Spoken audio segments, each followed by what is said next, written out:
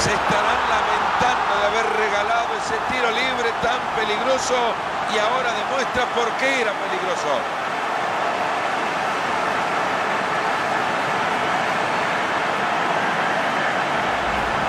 Jugada colectiva que termina en un golazo, Marito. Este equipo tiene muchos jugadores que le pegan tan bien a la pelota que por eso hemos visto un gol de otro planeta. Es para enmarcar la forma en que le ha pegado ese tiro libre, Mario. Se llenó el pie de pelota.